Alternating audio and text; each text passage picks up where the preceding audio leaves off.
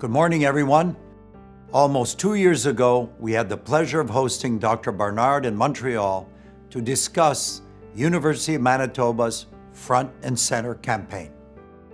We wanted to explore how our companies and the university could partner to have truly transformational impact.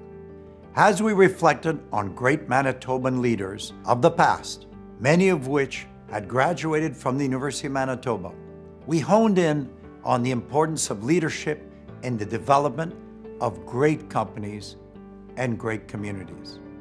Before long, we challenged each other to work as a team to take leadership development to a new level.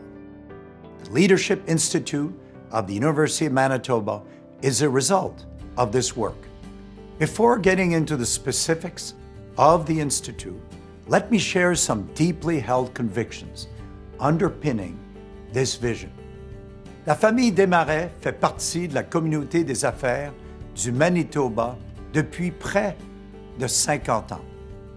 D'ailleurs, j'en profite pour saluer mon père qui a débuté ici en 1968.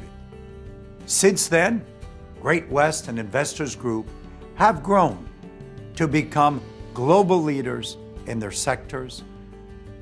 Five cornerstone values are behind our enduring success. Our leaders have lived those values and fostered them in our companies. The most critical of all is integrity. Without it, you cannot build lasting organizations embedded in prosperous communities. It is the cornerstone of reputation, hard to build and so easy to lose. All the great leaders I have been associated with had unwavering integrity.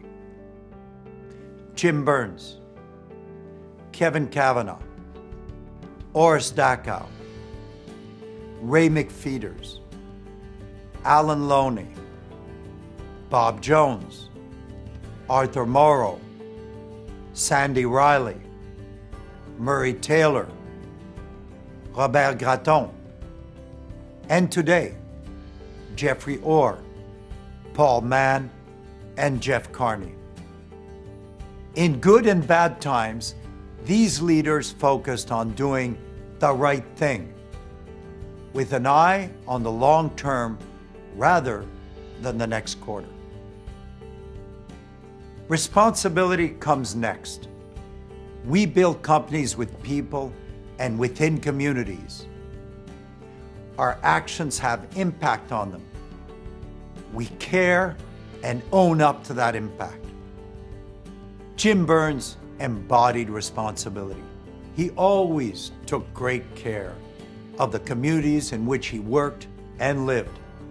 The James Burns Executive Education Center, built in partnership with the Asper School of Business, is an example of that. So is the skateboard park has funded for Winnipeg kids. The next cornerstone value is respect. Respect is the key to unlocking the potential of the people you work with. In our companies, we value and celebrate contributions from all our employees. We say thank you. We make people proud of what they do. Murray Taylor embodies respect in everything he does, with everyone he has touched. His work with his church in Winnipeg is a great example of the profound humanity he brings to all he does and the respect that comes with it. Hard work comes next. It is a critical ingredient of success. Perhaps the most important. Without hard work, you fall short of your potential. Ray McFeetors embodies hard work. He worked hard and he recognized hard work in others. Our companies are meritocracies, and hard work combined with competencies is a sure ticket for long term success. Courage, finally, holds a special place in our cornerstone values. It is a key ingredient of entrepreneurship, needed to reach beyond the ordinary and needed to make tough decisions in the face of adversity. Robert Gratton was a courageous leader. His acquisition of London Life in the face of formidable challenge from the Royal Bank is now legendary. Jeff Orr, is our chief financial advisor, was also involved with many of those acquisitions. But we certainly discovered his courage as he steered our companies through the 2008 financial crisis to get us back on the path to growth. In summary, our success has been built on five cornerstone values integrity, responsibility, respect, hard work, and courage. We have been blessed with great leaders from Manitoba. They have made these values real.